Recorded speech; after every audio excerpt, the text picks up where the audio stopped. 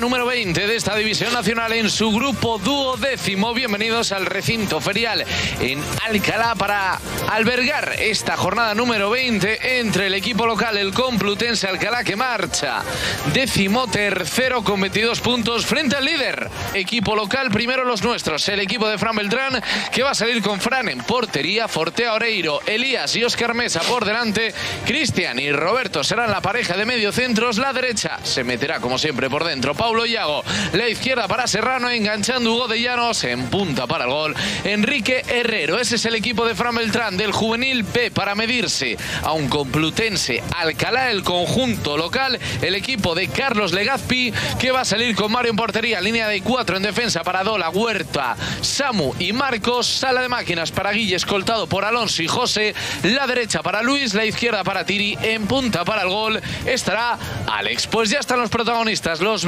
22 futbolistas en el rectángulo de juego, también listo, también preparado para disfrutar. Labor más fácil también para el colegiado que da su ok, que arranca el partido en el recinto ferial. Muy profesional y creo que también eh, lo notan. eh, sé que la semana ha sido muy, muy interesante. Ojo Cuidado. dentro del área. Cuidado, eh, con tenido, eso. La ha tenido Tiri. Eh, a colación de lo que acabamos de ver, es que claro, eh, hay que tener mucho cuidado, que estos campos Con David Serrano, internada de David Serrano, se quiere marchar, continúa David Serrano, deja para Oscar Mesa, Oscar Mesa, Hugo de Llanos, buen control, buen control, buen control. Ahí está, uh. Bajo palo se evita el primero del partido, la tuvo el Real Madrid, la tuvo Hugo de Llanos. importantísimo, como decimos, los, los controles. Fíjate, el control orienta hacia adelante, luego cómo la pisa, cómo controla el balón. Y lástima porque hubiese sido un... Desde media larga distancia. es Exacto, opción eso es una opción que hay que barajar, por supuesto. Ahí está Roberto, que de esto Uf. también sabe. El balón para Hugo fuera. Lástima. Encontró de nuevo el espacio en esta ocasión Roberto Martín. El desmarque era, se marcha desviado. Vuelve a tener una más de. Llanos. Bueno, muy bien, está con total seguridad. Ojo el balón a la espalda, buscando precisamente la carrera de Enrique Herrero. No hay fuera de juego. Enrique, Enrique, Enrique, Enrique. La parada de Mario. Buena Evita mano. el primero del partido de nuevo Mario. Y ya acumula muchas ocasiones, claro. Sí, muchas ocasiones. eh, ahora de Enrique. Y buena mano, ¿eh? Del portero. Tiri encarando a Cristian David, que viene a hacer la cobertura Cristian. Ojo con Tiri, Tiri dentro del área, continúa. Uy, buen cambio de ritmo. Uf, pues él ha entendido también, bajo ¿eh? palos. Buena respuesta del Coreiro. Sí, muy bien. Y como decimos, ¿no? Al final son futbolistas eh, rápidos. Hemos visto. Bueno, del campeón del mundo, por otra parte. Ojo, ojo la falta que viene David Serrano, que le puede pegar. David Serrano Había que pegar. Sí, hay que El seguir. misil continúa David Serrano a la segunda. Dos tiempos. Hay portero. Atrapó Mario. Eso lo dijo en. Decíamos antes en, en rueda de prensa y bueno, se agradece, ¿no? Porque el resto lo ha hecho perfecto. Mira, Vamos Roberto, aquí puede ser Roberto contra el cuerpo del defensor. Queda suelto Hugo de Llanos. ¿En qué movimiento? Hugo de Llanos, qué parada de Mario. Qué parada de Mario. Se puso la capa y sabes en qué se convierte Mario. Para evitar el primero del Real Madrid.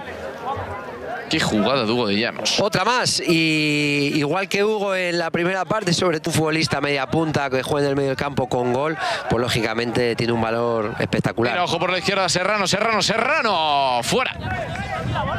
Que Sigue haciéndose muy, muy grande. Portería del Complutense Alcalá. Largo. Buen desplazamiento hacia la banda izquierda con protagonismo de nuevo para Serrano. La pide Pablo Yago. Recibiendo Hugo de Llanos. Hugo de Llanos en el 1-2. Se marcha Hugo de Llanos. Hugo de Llanos. Hay que jugada. Hay que jugada. Hay ¡Qué que jugada. Hay que jugada. Hay que jugada. Hay que jugada. Hay que jugada. Bueno, bueno, bueno, bueno, bueno. Hugo de Llanos. Golazo del Real Madrid. Qué jugada de Se, se marcha del segundo. Se marcha del tercero. También sale un cuarto. Pues también del cuarto. Se marcha del guardameta. Y se la deja en bandeja Paulo Yago. Que la manda a guardar. Marca el primero el Real Madrid. Lo marca. Paulo Yago, pero el gol es de Hugo de Llanos. Bueno, otra jugada más de Hugo de Llanos, eh, de gol del Real Madrid, que bajo mi punto de vista eh, podría haber llegado mucho antes, pero bueno, nunca es tarde, ¿no? Al final creo que, que es... que- Ahí está, recibiendo, cambiando el ritmo. Bien, Hugo de Llanos, que se intenta marchar. Ojo, Enrique, la presión con problemas. Paulo Yago. El segundo. Paulo Yago. Marca el segundo el Real Madrid. También Pavez vez una indecisión. Otra vez aparece Paulo Yago, zona central. No se lo piensa ni un solo instante. Golpea seco abajo donde duele. Marc. Empeine total de su pierna izquierda. Y bueno, pues segundo gol de, de Pablo Yago. De Pablo Yago en el día de hoy. Goleador también, donde los haya. Queda en el campo. El balón para Serrano. Serrano, Paulo Yago. Buscaba el hat-trick. Buscaba el balón para casa. Paulo Yago. Pero yo creo que ahí, más siendo Pablo Yago, pero vamos, cualquier futbolista ahí, fíjate, tienes golpeo, eh, estás para un equipo y para un entrenador es fundamental. Y para él, ¿no? Para seguir su progresión. Oscar Mesa dejando Serrano, Serrano dentro de la balón Uh, atrás. Enrique, la parada de Mario que está haciendo todo lo posible, sí, sí. todo lo posible, que no encaje más goles el Complutense el Calá. Buena jugada. Pues muy buena jugada de nuevo, buen golpeo de Enrique, que quiere su golito, pero bien colocado. Enrique Herrero no lo consiguió, pero vuelve, vuelve, vuelve, vuelve. El balón a los dominios del Real Madrid. Se podía preparar para el disparo de Roberto. Hay falta. Falta sobre Roberto Martín. Peligrosa a favor del Bueno. equipo de Fran Beltrán. Falta en las inmediaciones del área y evidentemente falta bastante peligrosa.